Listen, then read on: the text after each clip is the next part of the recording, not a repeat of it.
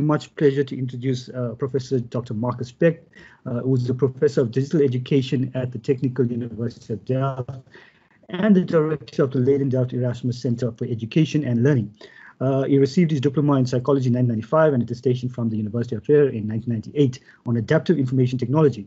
From 2001, Professor Specht, he headed the Department Mobile Knowledge at the Fraunhofer Institute for Applied Information Technology.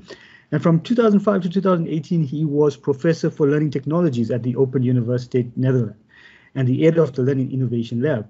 Uh, his research focuses on focuses on mobile and contextualized learning technologies and social and immersive media for learning. Uh, Professor Specht is also an Apple Distinguished Educator and president and was president from 2013 to 2015 of the International Association of Mobile Learning. Uh, I actually, uh, uh, a few years back, I was also uh, lucky to spend some time with Marcus in Shanghai. Uh, in Shanghai Open University, uh, and we uh, he was one of the keynote speakers, one of the international speakers at Shanghai Open University, speaking about ubiquitous learning and his and his knowledge on uh, technology integration was really really impressive uh, and it created a, a, much buzz around Shanghai Open University in terms of uh, his, his knowledge on mobile learning, ubiquitous learning, learning anyway. So thank you very much, Marcus, for joining us today. Uh, and let me say welcome to UNISA, Marcus, once again. It's a pity that uh, you're not physically here, but uh, we still can do what we need to do. And maybe in the future, we can physically get all of you back onto the space as well. So thank you, Marcus, very much. And I hand over the platform to you. Thank you, Marcus. Thank you for the kind introduction, Denzel, and, and thank you for the invitation. It's, it's a pleasure uh, to speak today. I just uh, share my slides and hope you all can see them. Uh, to get a bit of interactivity, let's just kick off with, with a little experiment, see how, how far the network can go. May I ask uh, you all to shortly switch your camera on. So that it's for me I, I get a I get a bit of idea for who is there. Um, um, let's let's experiment. Great. Yeah. This looks marvelous. Yeah. My kind of virtual classroom is filling up here. Uh, great. More and more people coming in Perfect. I will probably make a screenshot of that. Yeshay, hey Denzel, great. Ah, we have also very young guests. That's great. yeah, you know, I, I recently applied for some some funding, and we looked into self-regulation. And I think most of you know that experience of talking to an empty classroom. By the way, thank you all for shortly switching on the camera. So we probably make this more efficient now and, and go back to blind mode.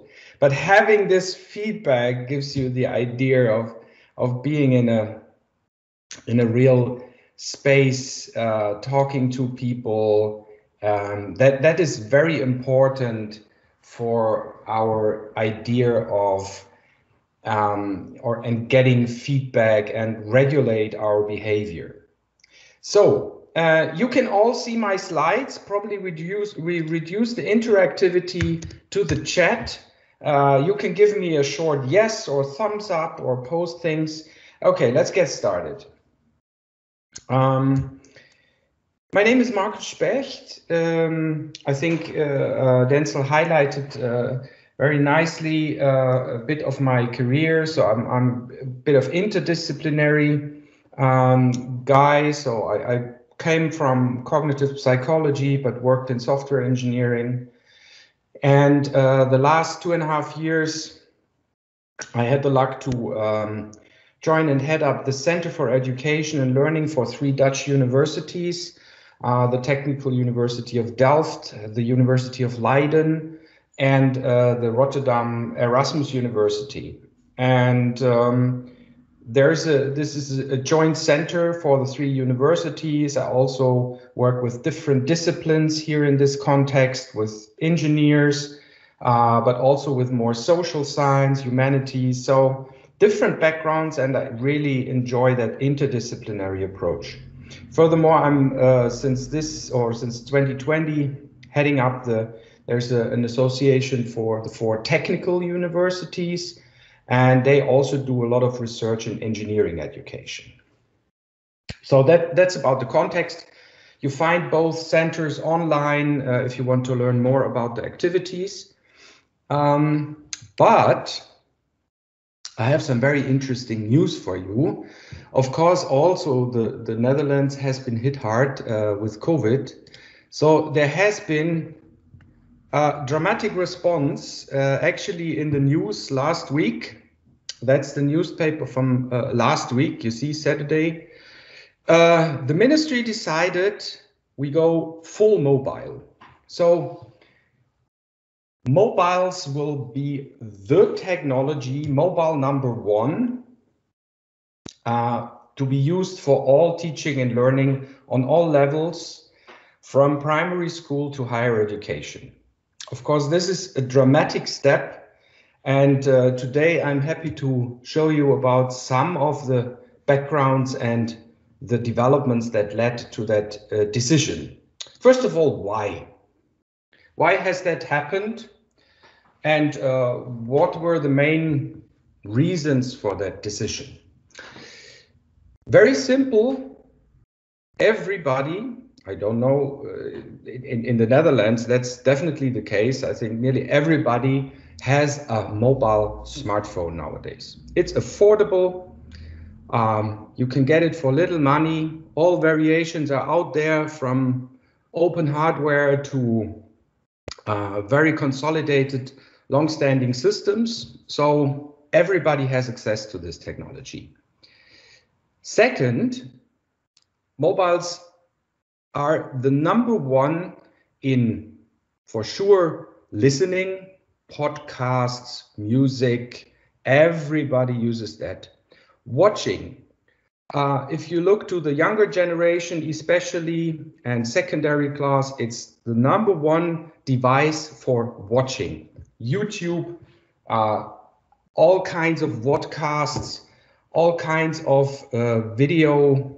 So everything watching mobiles are number one. And even more if you look into usage habits on reading.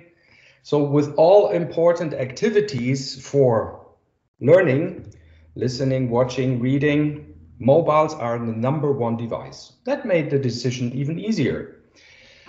Furthermore, um, it was considered, and we did uh, the last 15 years long-standing research on this. Of course, it's the number one device to collect photos and personal memories, as also audio recordings, or collect points of interest, locations where you have been, and um, which are important. Even more on top of that, what is the number one platform in gaming today? Of course, it's mobiles, it's smartphones, it's tablets. This is the number one device for social media, for dating, you name it, uh, it's the number one device. And furthermore, of course, as these mobile devices, smartphones, have all kinds of sensors, high resolution cameras and depth sensors. It's also, unbelievably, the number one device for augmented reality. And uh, this is a, a future leading technology. So this was one consideration that the ministry took into account because, of course, the technology to be used also has to be future proof. Um, and last but not least, what we all experienced uh, in the pandemic, of course, what were the number one use cases for all of us? Video conferencing, email, and every of these devices, or nearly everyone, has a camera built in. You can do video conferencing. There's pre-installed software solutions for that. And let me point that out we didn't even count in the number one application that is messaging. But of course that's integrated. So messaging, there has been recent studies uh, from um, big uh, online sites, especially for students, for learning content, which showed that the number one service that students go to is mobile messaging. So how could the minister choose for something different than mobile devices? I couldn't count any uh, or find any service where mobiles are not number one. So this made the decision easy. But uh, also what make, made the decision easy when the pandemic hit was that the last 15, nearly 20 years, we had different stages of development. So we did experimentation. There's long-standing work, especially using mobiles in excursions, in mobile video conferencing, in collaboration, but also in educational games. So there's a lot of research showing the effectiveness of this approach. And um, also we did in the years after that a lot of work on collaboration, group work, but also lecturing with mobile devices.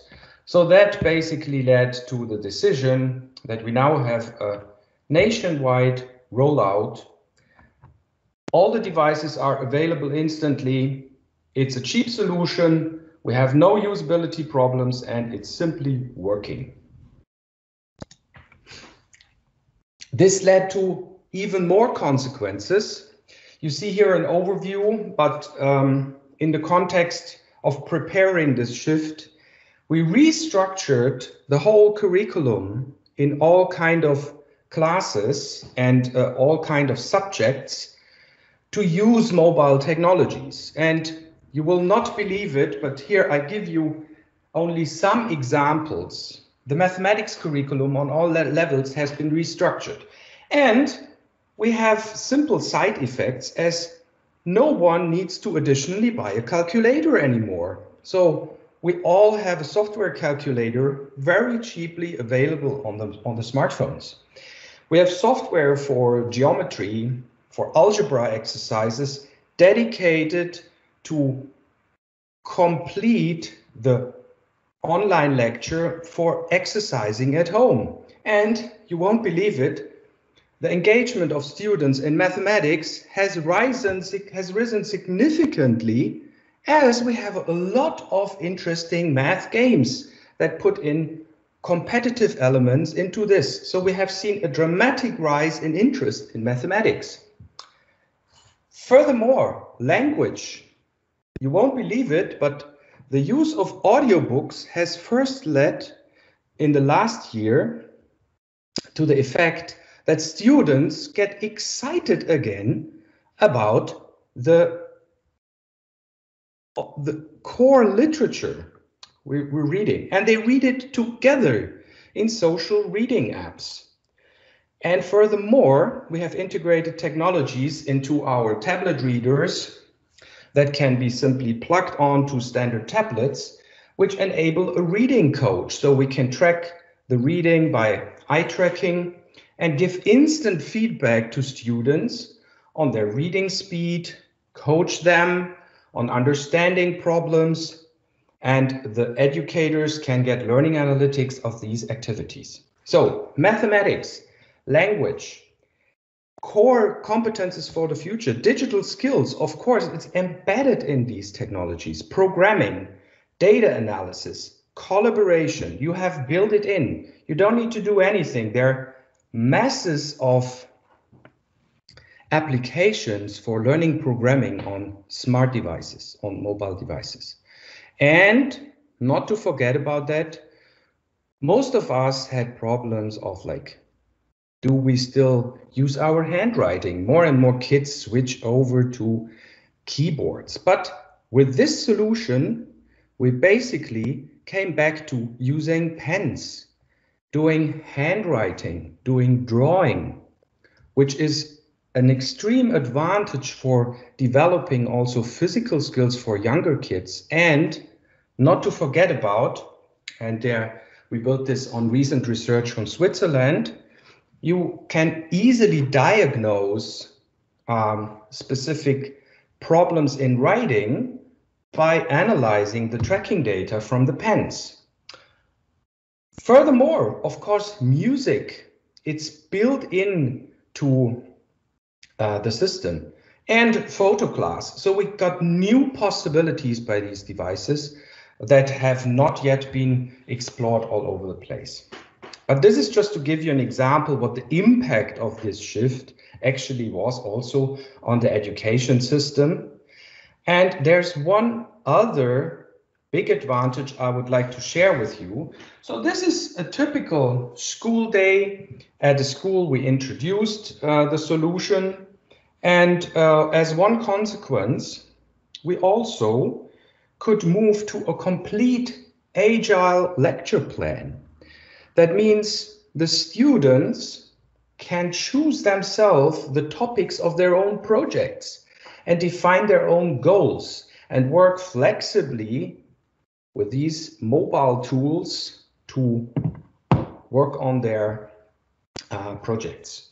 And we, we structured that into really working more with coaches as teachers. For example, this is an example from secondary school, but we implemented it also in higher education. So uh, this is a typical example of how the application of agile methods in school looks for us. Of course, we take into account knowledge building on all levels from cognitive to motivational behavior and contextual level but it's also the social context that is brought much more in because all of mo or most of the social context nowadays of our kids and students take place online so we can use all this input and bring these students together in projects they work on and uh, build from their home all right so this has been the developments in the Netherlands.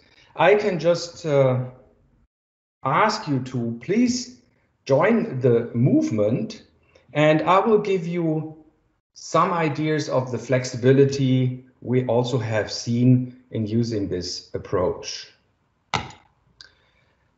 So please all join that movement uh, if you want to have some scientific uh, evidence and underpinning of this. This has been a book from 2015, finalizing or also looking into some of the research that is happening there, following uh, the approach uh, from uh, Singapore on the definition of seamless learning. So seamless learning in that sense of like um, bridging different seams or gaps, the seam between formal and informal learning, that is solved by mobiles. Personalized and social learning, social uh, mobile devices are the most social tool we, we have available nowadays. Uh, you can use it across time, across location, and in different applications contexts. And you can even combine multiple devices. And considering the development of augmented reality, you can bridge physical and digital worlds. Just to give you one example of that, uh, that we worked on, uh, I think about 10 years ago as a research prototype, but we used a lot of mobile technologies in um, training architecture students. And the case was that these students simply have to take snapshots of buildings wandering around in the city and connecting this. Uh, no, unfortunately, there's no open version of the book coming to the question, but you can, of, of course, find in the uh, uh, libraries, uh, you find most of related or similar articles of the authors if you have the, uh, the uh, table of contents, which is available online. And um, so the architecture students had to take as a task, they had to do analysis of existing buildings and they had to take photos, they had to take measurements of the buildings, uh, either to describe the facade, to describe the relations, the structural uh, uh, concept, and so on. And uh, so this bridging of physical and digital digital worlds, uh, therefore also mobiles are the number one tool uh, to do that. Okay, let me let me show you some of the flexibility of this approach. Of course, you can come from different pedagogies. I mean, our our experience was that teachers come from different backgrounds. They use different approaches for teaching. So an approach we've chosen must be flexible. So one uh, flexibility is pedagogy. This is a publication already from 2004 we built on. So dependent if you do programmed instruction and follow a kind of behaviorist approach and want to drill exercises and, and uh, uh, use that, or if you come from a, a complete constructivistic approach, or you want to focus more on situated or collaborative learning, uh, for all, you find examples in the literature and also in our approach how to implement this with mobiles. I give you some examples. For one thing we found a lot in um, mathematics, for example, that build back to go back to paradigms as programmed instruction. You can very easily, and there's a lot of systems out there on adaptive feedback in math exercises, where you very easily can use uh, generative uh, systems, so systems that by random create new exercises, go to algebra, go, go to geometry, uh, go to even complexer fields as linear algebra in higher education. You can use these systems to scale up your um, tasks, your exercises, adapt them to the students and present them uh, and uh, let the students grow with this. Beside that, of course, you can also, as you see on the right side, contextualize these learning activities. So connect them to the physical space available for the students. Another example, which more in depth even um, explores that approach. What we've seen in the pandemic is that, um, of course, people want to go outside. They go, uh, they go hiking. They go wandering as far as this is possible. So we use the physical activity uh, where they can individually explore the city, have a walk, and by that activity do either mobile blogging, collect content, collect photos, or just listen to podcasts we have produced that guide you through a city. That all is possible. Of course, it's distributed, it's decentralized, so we don't have to need to have a group of people, but everybody is able to do that individually. Uh, a last approach, and there is a lot of research, so well in the book, then on other publications on the use of mobile technologies for uh, excursions or field trips. We applied that in different kind of fields from really primary school up to higher education. Um, you can use the mobile device um, on all parts of the activity from preparing an excursion, defining the tasks, collecting data in the field trip, as also video conferencing in the field and out of the field uh, with a mobile device. Uh, it's ideal. You don't have to do anything. You can just use it out of the box. These were some examples for how you can implement different um, learning paradigms or your ideas about this learning paradigm uh, with mobile technologies. Another approach is, of course, your task design can vary. What kind of tasks are you using? This is um, an example from even older, it's from 2002, where we used basically different task structures as collaboration means for students. Uh, they were also located in the city center or in the city or in the area where the excursion takes place. And you can use the tasks as a structure for collaboration. And uh, this was this uh, project about a second one where we supported more individual uh, excursion. This is very similar to the example about architecture I explained before. This is an online uh, or a mobile um, tour for Florence. We developed uh, at the Open University as a prototype, which basically gave you the chance to freely explore Florence in Italy, um, but at the same time also look at tasks and get specific tasks for your current location in the city. And to these tasks, record annotations, record photos you take on the mobile device. It brought all together on your mobile um, smartphone. Um, but it's not only individual, but let's say you are more in complex collaboration scenarios. I just show you some examples of how role-driven design can be implemented.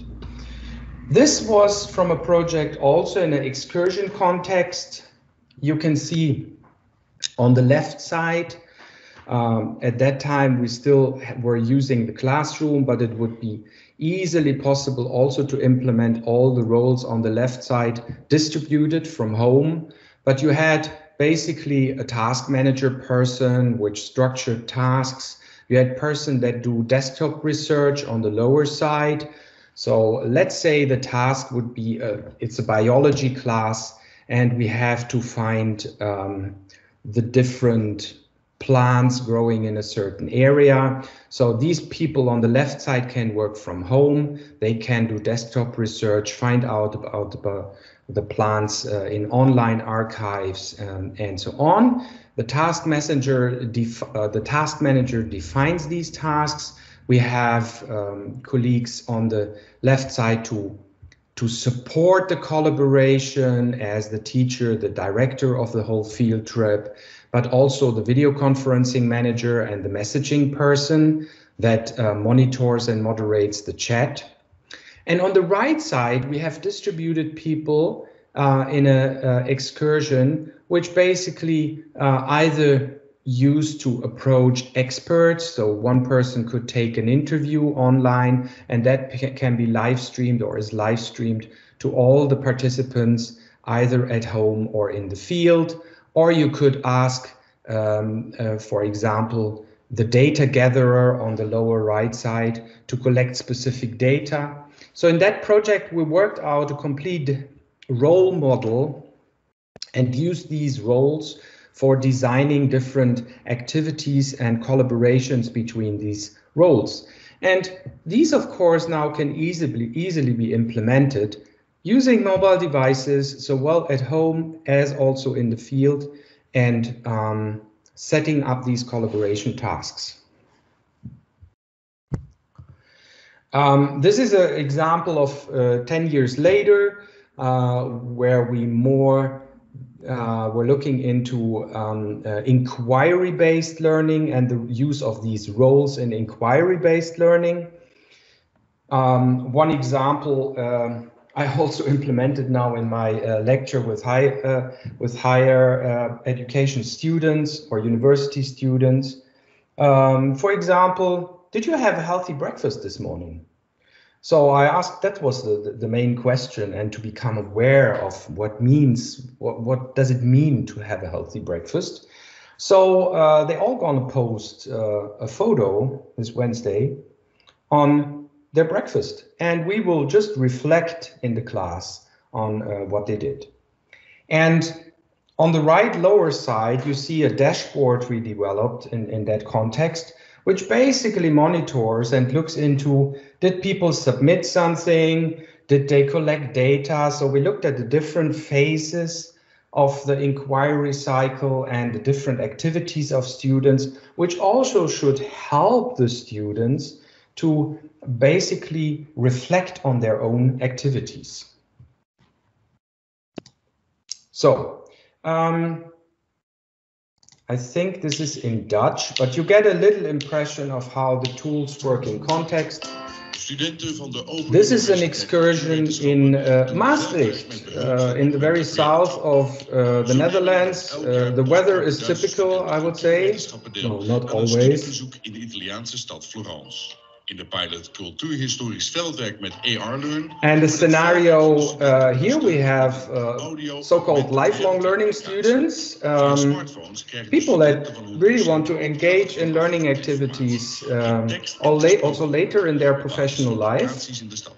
And uh, in this case, you have to work, uh, walk through the city. In dit geval voeren de studenten hun opdrachten uit in het historisch centrum van Maastricht. In the historical center uh, of Maastricht, and they use the mobile device basically to find the location and record reflections. They use it as a simple online audio recorder. We hebben in eerste instantie ontwikkeld om studenten op een intensievere manier. This is the back end basically. Uh, so I think you, you get an idea. This is the way how you start a tour. You just scan a barcode and you're ready to go. Zie je, hebben we een opening. Um, by the way, are all still alive? Please give me a little sign in the chat. Any questions?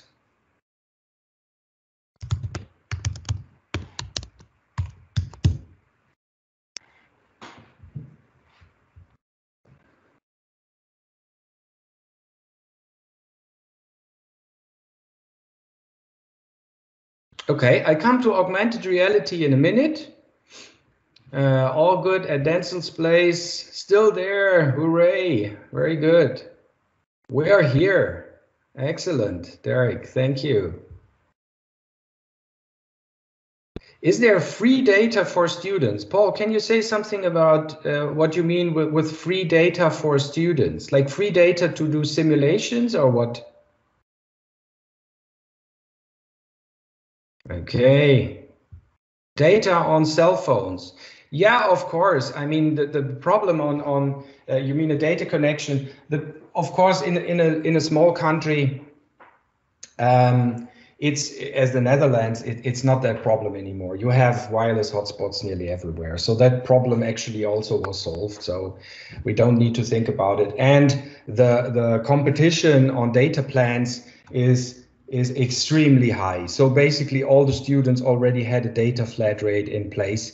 Uh, we needn't we need didn't need to take care of that. And and just to mention that uh, beside that, uh, a very interesting side effect, but that also has shown uh, or has shown up uh, earlier in in research is that actually the mobile device helps a lot to get things to get technology out of the way. So for the rare occasions where people really met face to face, of course, due to the pandemic restrictions, technology was gone away completely and they interacted. And um, this helped also a lot to shape a new vision of using technology in education. Uh, okay, Vanessa uh, was wondering with the push for social emotional learning in schools, this would also flow over to higher education and how would this be managed virtually? Oops. Um, social emotional learning in schools, of course, we have, I mean, uh, I don't know if I if I get your question um, uh, correctly, but what we have seen, especially with the arts and the STEAM uh, approaches in schools, like embedding more artistic expression and also this freedom. And we did this so well in uh, primary, secondary, and higher education. This led to uh, uh, a lot of more involvement and engagement and motivational um, um, enhancement, if you want to say so, or more motivation to learn and look into the learning materials. Probably you can um, detail your question a bit more. Great. It looks that there are some more um, activities, but let's go on. Look into process uh, driven design. Another flexibility. So you might have different educational processes you want to look into, how you implement that, how your detailed learning design looks. Uh, mobiles give you the flexibility. This is in a case where we used uh, a mobile app basically for implementing training in higher education in uh, the medical centers. And in these medical centers, we have, for example, first responder teams. Uh, I'm now working on a training um, using these technologies for uh, intensive care units. So their people have to develop certain skills which are critical to patient safety. Uh, in this can in this case, it was a handover scenario, so how to hand over patients. Um, but you also have it now, for example, for intensive care units. There, people have to be trained to very early identify critical symptoms of patients, which is uh, essential. And we trained these skills with mobile tools. So you had very um, embedded, realistic scenarios uh, where you, for example, uh, there happens in an emergency. So you really learn by training following these scenarios, and you can easily implement these scenarios just with a mobile game tool uh, we have developed. But in that sense, uh, we were able not only to develop uh, games in for single players or multiplayers, um, but you also had a lot of flexibility for collecting data and embedding learning in authentic situations. This is a language game we developed for um, primary school kids. Basically, um, you get a scenario like a friend comes to visit, uh, you have to prepare pancakes. Luckily, the supermarket was the last thing that was still open where kids could go, and they could scan uh, the um, the products in the supermarket and learn the uh, words or the expressions of the names of the products in three languages as we have a lot of uh, border regions also in the, in the Netherlands, like with German, France, uh, uh, you could learn the, the names of the products in three languages by scanning the, the, the products. And this, of course, le led to several effects. Uh, kids were really motivated to use these tools.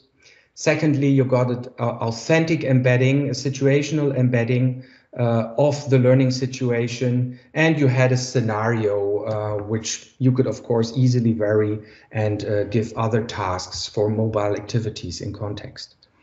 So we also applied this in higher education, the same principle for energy reduction uh, at the workplace and at home.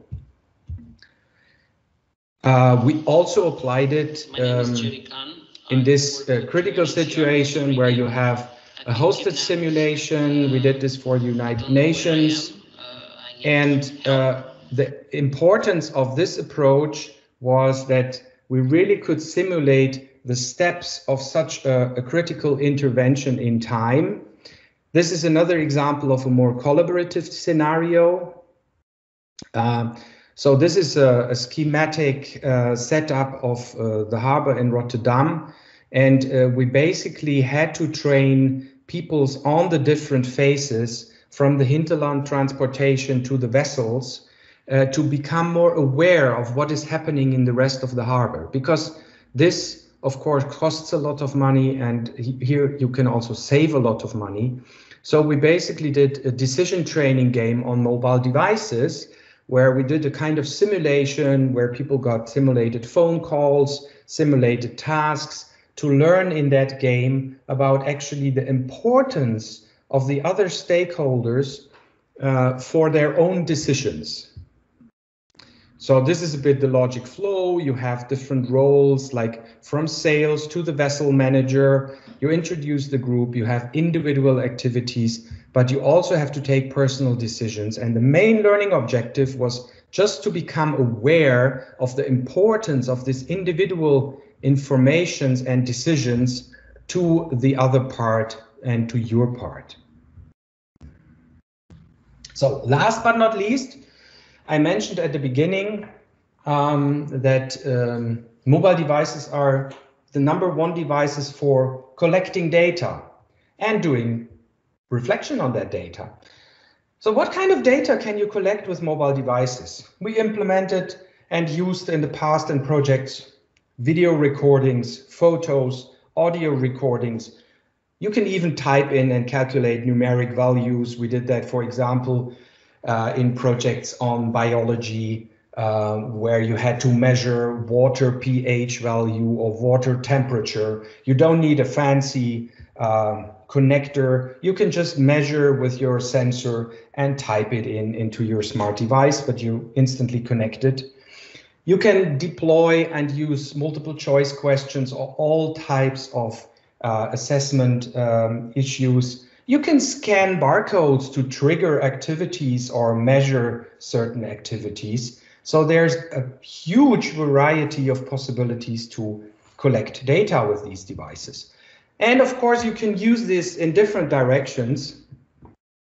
This is a publication that's uh, freely accessible, um, uh, where we analyze different learning scenarios and different, uh, different applications on the influence of learner agency.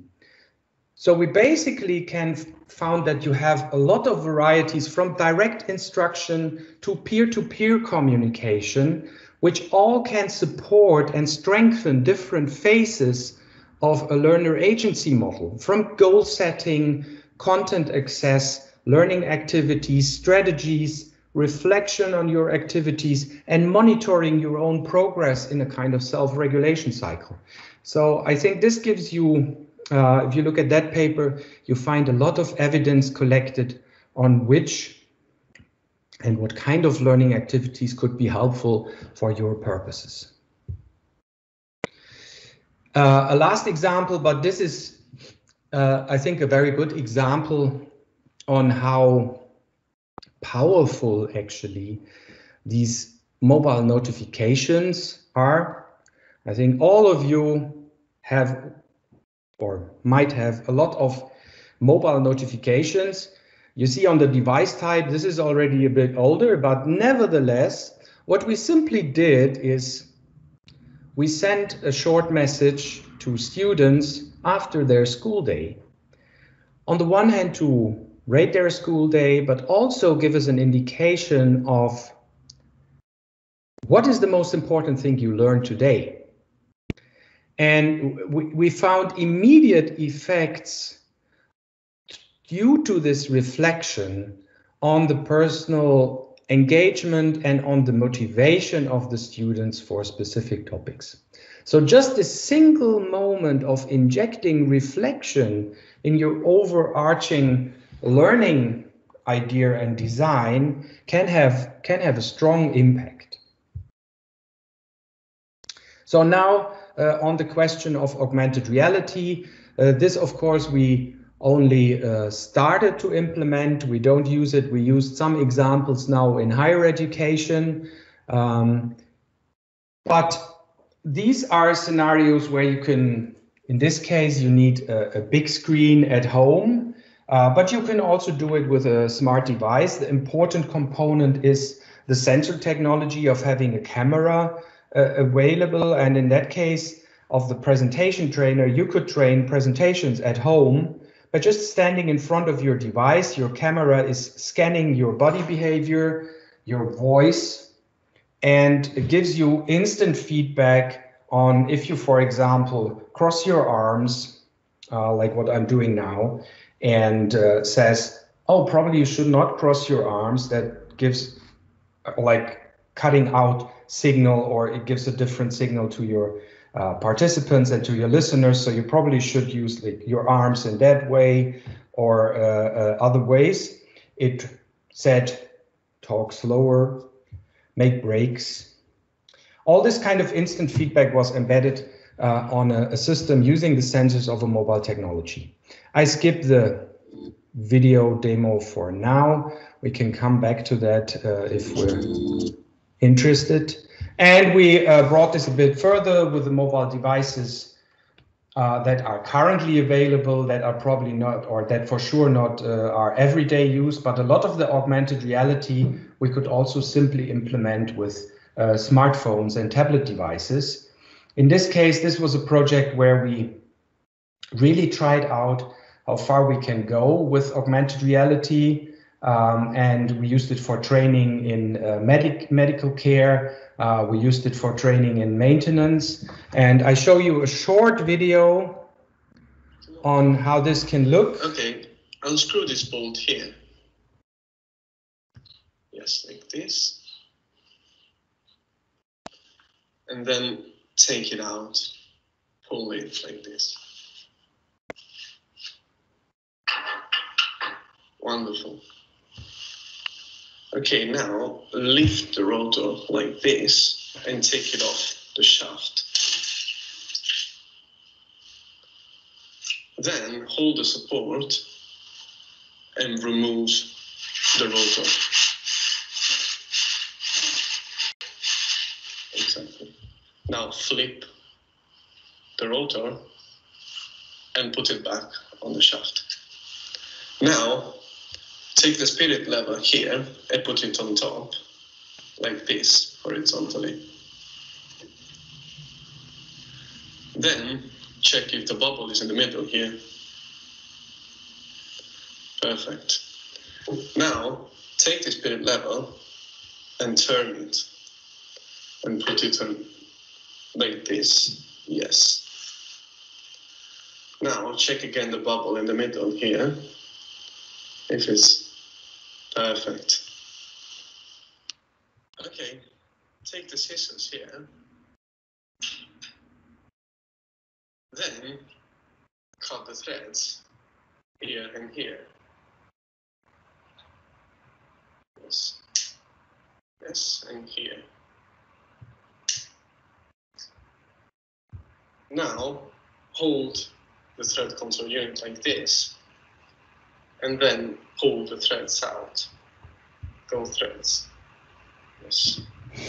Okay, so you get the idea. In this case, this was really a remote coaching scenario. So you can imagine that there are, are a lot of uh, possible patterns of how you can use augmented reality.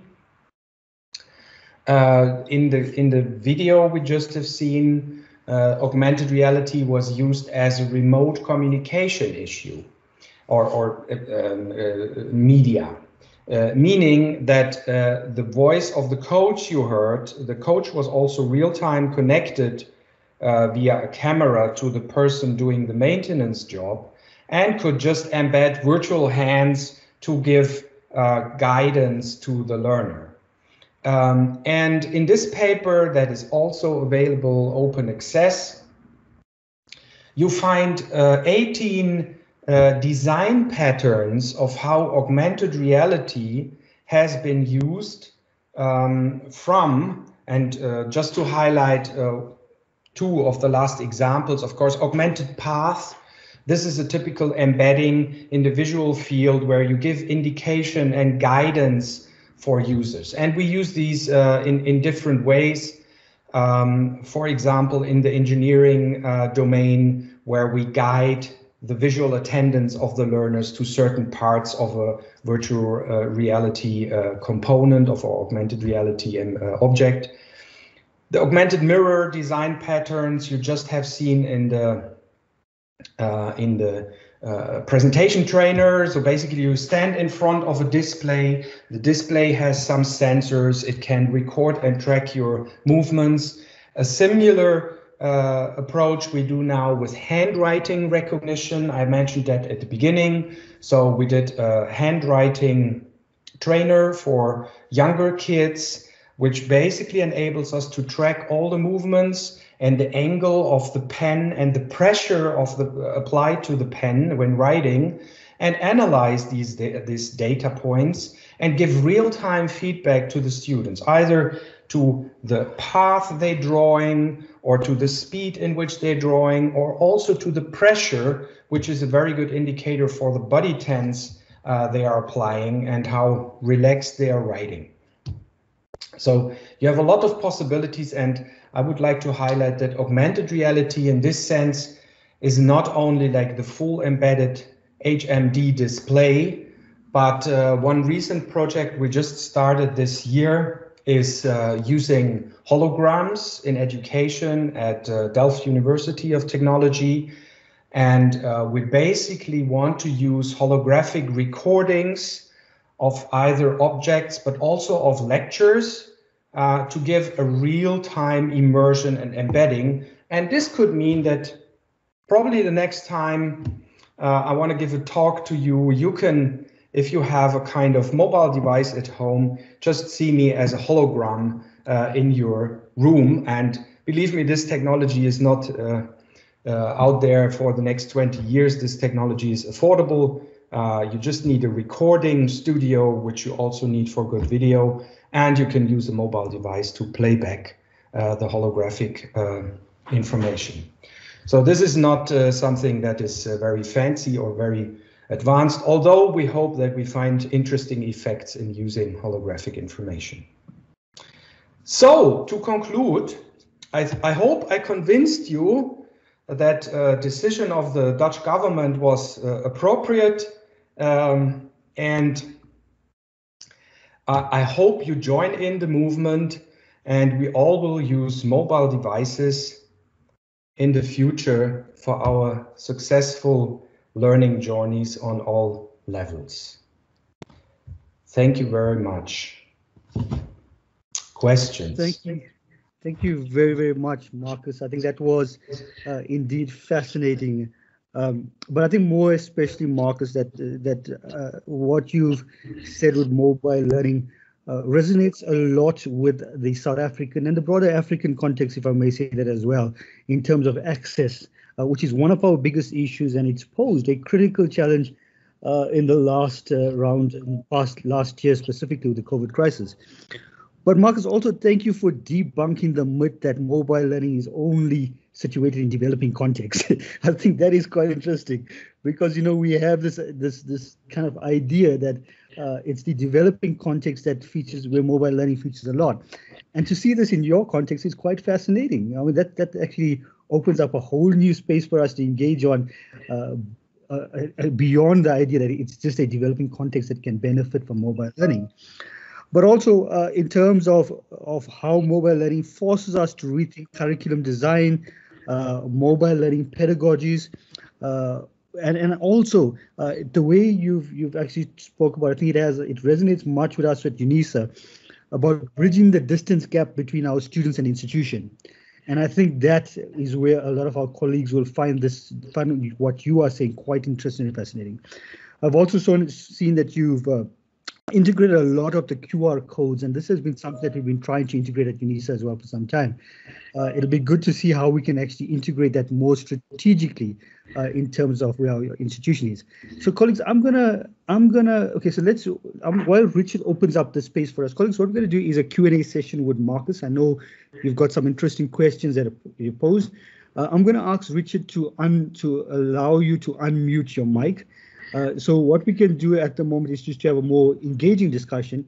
Uh, is just raise your hands, colleagues, and then we can open up the space for you to to post your questions.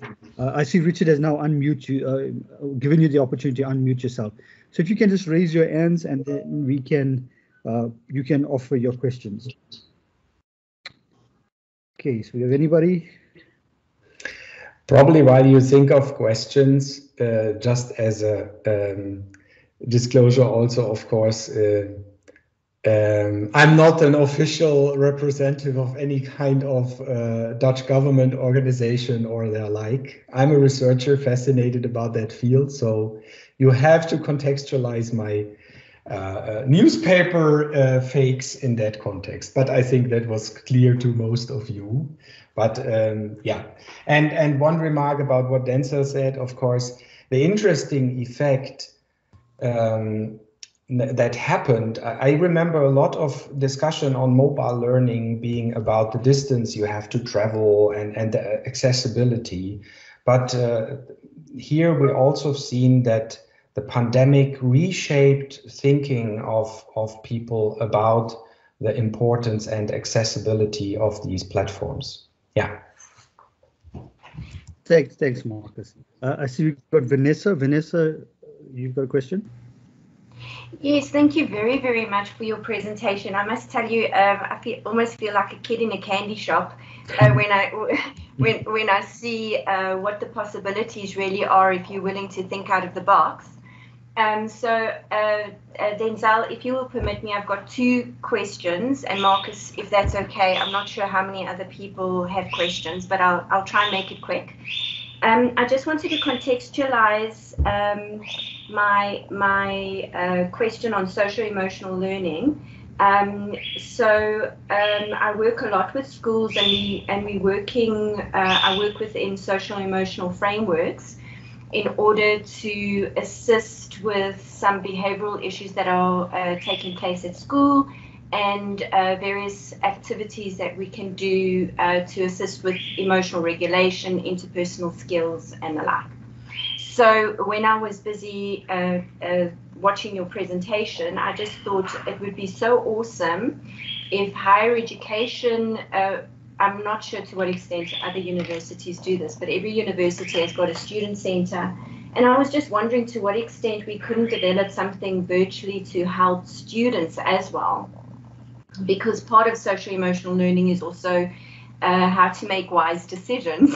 um, so that was actually my question. I was just thinking it would be awesome if we could develop apps and things like that that can actually um, assist with the academic support that we provide for students. Um, and then um, I just wanted to also say uh, that I think um, with mo- with mobile devices, and I mean our students at the moment use mobile devices to write exams and everything like that. So I'm really excited about the different options that you presented. So thank you very much for that.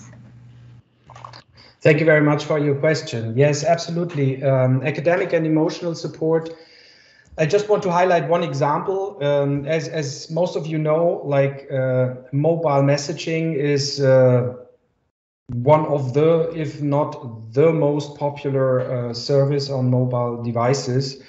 So what we do on that and also did on that, uh, we started the project also beginning this year on uh, developing so-called um, intelligent conversational agents. Um, you can also call them chatbot. That depends on your interpretation and on, on how much intelligence or artificial intelligence you put in there but especially for uh, training or, or uh, supporting students in and educators in online study skills as goal setting, as monitoring of their goals, as motivational issues. Uh, basically, our hope, and this is in the experimentational phase, but there's also some evidence that we um, can support students via these chatbots directly in their daily uh, struggle, we have to say nowadays, uh, to continue their study successfully. And we're pretty optimistic on that part. And there is evidence so well for emotional support as also uh, metacognitive support for students um, uh, working with um, conversational interfaces and agents. I hope that answers a bit of your question, but that is one approach we're taking currently. Thanks, Marcus. I see while the, the colleagues are getting ready for further questions.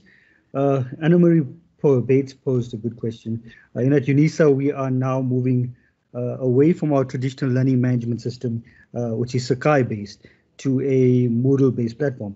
Uh, and she posed a question of whether she hopes that the new platform will make provision for this type of augmented reality approaches. But just a quick one to follow up on that, Marcus. Uh, what is a specific learning management platform that you all are using in the institution? Uh, very good question. Um, as I'm working with uh, uh, three universities, we basically have two bigger learning management systems in place. Uh, one is Brightspace, the other one is Canvas. Uh, both have their facilities, but and, and, and possibilities and strengths and weaknesses. Um, I cannot tell you which is the, the, the better or, or, worse one of these.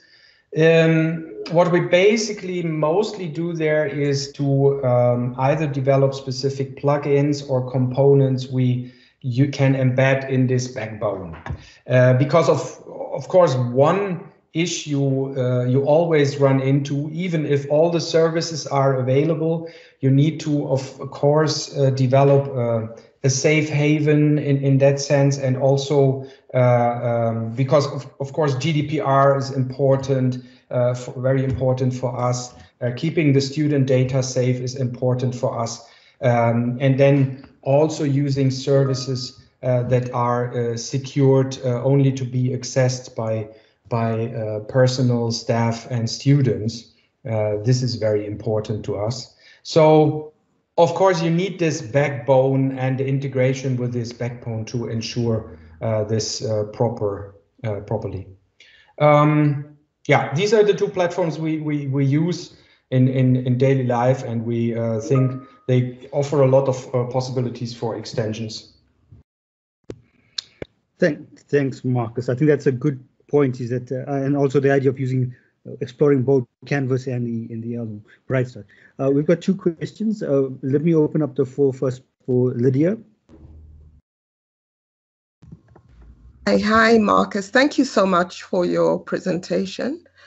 Um, my, my question regards the algorithms that work behind the um, for example, body language, how how um, inclusive those algorithms are across diverse cultural um, settings, and how do you achieve that inclu inclusivity? Thank yes, you. yes, thank you very much for that question. Uh, basically how we achieve that uh, is that it's a, a, a rule-based system and it's not a, a data-driven system in first instance.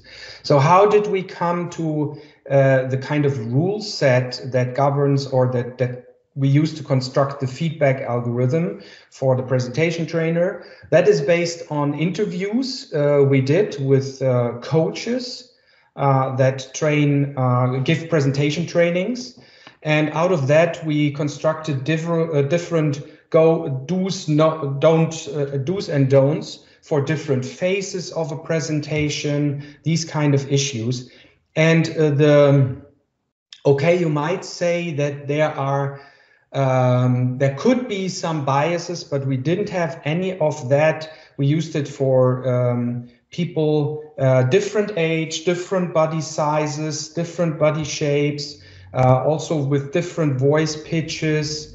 Um, so it's basically a rule-based system. It's not an only data-driven approach where you get the typical biases based on the data set you use to train your uh, neural network, but we built on the core of uh, a rule-based approach. And um, I, I, hope that answers the, the, the question. But it, of course, if we roll it out in, in really different settings, we would uh, need to check that again. Thanks, thanks. Uh, okay, we've got one question here by Professor Vanessa Steenkamp. Floor is yours. Um, thank you very much, Marcus. Very fantastic talk, nice technology. I'm, I am from the University of Pretoria, the Deputy Dean of Teaching and Learning in the faculty, and actually we're looking at um, clinical training alternatives. And this is something that really could offer this. I would like to ask, and I'm sorry if I missed it, I had a bit of difficulties, technical difficulties during when the questions and answers started, so I had to relog on. The, the cost implications, you said it was easy, um, you know, it's not really rocket science to have it, not fancy advanced, um, and you can use your mobile device. However, there must be costs um, involved in this whole thing. What are we looking at at the costs to get this set up and to get this done? Um, the, the this augmented reality, and then also um, how data intensive is are these um, uh, uh, programs? That's another thing that is of concern. Actually in, where people are resource strapped. Um, that we need to to know that. Thank you. Thank you very much for the for the interesting question. I would like to give you two uh, a two split uh, answer uh, that also goes more on a on a lo-fi and a hi-fi uh, possibility of of, uh, embedding augmented reality. So the lo-fi uh, version is that we had um, a lecturer uh, we have so so-called uh, teaching fellows uh, at the, at our uh, universities, and they basically apply for a two-year grant to spend one day of their week on research on uh, innovative uh, technologies they want to use in their courses, and that could help other lecturers also to to develop their courses further. So we had, had one colleague, Martijn Stellingwerff, uh, working on augmented reality. He came from an architecture and industrial design background, and he developed um, only uh, existing mobile and uh, applications for uh, developing uh, augmented reality content. So there is a very low-fi and low um, access uh, solution which uses existing applications. You just have, we're talking about licensing costs probably for software for one workplace of something between uh, extensive apps from uh, or, really, really uh, powerful apps for 10 uh, euros up to probably a workplace uh, or workbench solution for of 50 or 100 euros. So little costs for with which you can develop augmented reality content. And the advantage is that uh, most modern mobile devices, let's say you need to, uh, there are different platforms for, for that, but most are existing in the hands of, of uh, people, I would say, as soon as they have a camera and do the embedding. This is um, the, the lo-fi realization, which uh, requires uh, very little invest investment. And then the top of the notch development we're now looking into with 4D, 4D volumetric capturing basically uh, needs uh, a full recording set. So you need to set up a stage uh, with uh, um, uh, space sensors and cameras, which we're now looking at at costs of um, 100 to up to 300,000 euros for a recording studio in which you can record multiple person interactions into volumetric data. And then, of course, also on the on the replay side, uh, you can go from a student, uh, let's say, uh, augmented reality HoloLens, uh, then you are at 3,000 euros or 2,000 euros for a workplace uh, at home to, or to replay um, the augmented reality content. And of course, also for public spaces, uh, these things are still quite expensive.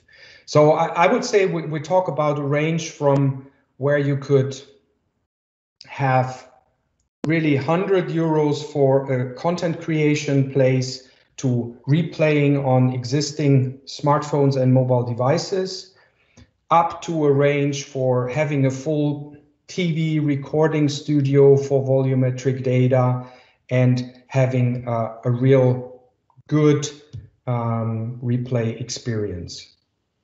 That is the. I hope that uh, that helps. Mm. Thanks, thanks, Mark. Thank you that, very much. An, that was very useful. Thank you. Yeah, yes, I think uh, that was an important question that was raised, Marcus, because uh, it's a matter of us advancing towards technology, but also being cognizant of the cost towards our institution and the ICT infrastructure that we need in place. But I like the fact that we could vary these costs, so it allows us that flexibility to develop and advance with these with these types of trends as well. Uh, Marcus, I think we'll take this last question that's on the on the chat by Tabita. And, uh, you know, one of the issues in the South African context is the idea of Africanization, decolonization, Africanization, and the shift towards uh, bringing in multi-languages. Uh, so in terms of uh, multilingual, these mobile platforms, capability of it, have you all used anything of that sort? Yeah, um, uh, help me a bit with that question. So multilingual uh, content or, or delivery in, in, in different languages, is that correct? Yeah. Yes, yes, that's correct. Yeah. Naja, um, I, I cannot. I, I, I mean, I can only uh, say something uh, in in the context of uh, translation and natural language processing um, of um, uh, mostly European languages. Uh, but there, I can tell you, I was myself uh, really surprised by the level. Of course, we now get uh, language recognition and speech to text recognition and translation from uh, natural language processing engines. So just to give you a, little example, I recently produced a MOOC for research methods um, for the extension school in Delft. Um, uh, and uh, I did all my um, I just recorded my videos and within minutes, I had a complete transcript into English and a complete translation into two other languages.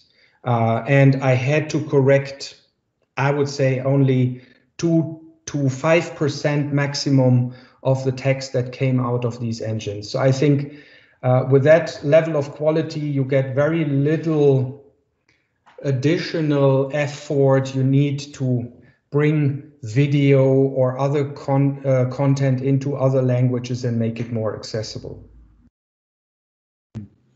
Thanks, Marcus. Uh, I think you answered that question quite well. Uh, thank you very, very much, Marcus. I think this was a fascinating session. As as, as always, you never fail to impress us with uh, with the amount of knowledge you got, but also uh, the way you plot technology uh, in terms of benchmarking internationally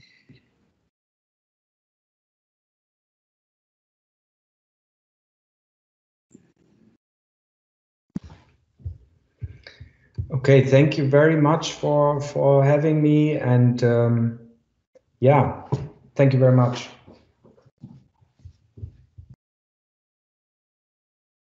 Yeah, sorry, I think it got cut off a bit.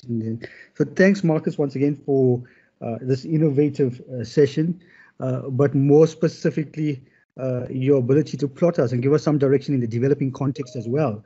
Uh, I think uh, yeah, uh, you you you plotted it quite well, but also you've given us opportunities for us to think uh, amidst our costs in South Africa, amidst our ICT infrastructure, how we can still advance and make uh, higher education innovative in terms of meeting the demands of our students. Uh, I think uh, Prince Carol Prince's last comment on the chat uh, is quite interesting. Is that our students, our, our our students are at a young age where mo- they are all mobile basically everybody has access to mobile. And you know, we always say that some of these students have more fancier mobile devices than some of our academics. so the potential to do this kind of stuff is really, really there. Uh, but I also think it's a matter of of now the willpower of ICT together uh, with of our institutions uh, to realign our, our strategies in teaching and learning, uh, as well as our government to start funding institutions to advance this type of uh, developments. Uh, because if we want to make ourselves, and COVID-19, uh, the crisis of COVID-19 has shown us that if we do not start investing in ICT infrastructure, the gaps are going to grow much, much more wider for us. Uh, so this is actually quite excellent. So thank you very, very much, Marcus, uh, for this and for opening up the session for us. Uh, we really appreciate it. And uh, we look forward to more future collaborations with you. And I know that this is the start of a great journey. So thank you, Marcus. Unfortunately, we can't applaud, everybody can't applaud, but I guarantee you from every side, thank you very, very much, Marcus, and uh, we'll chat soon.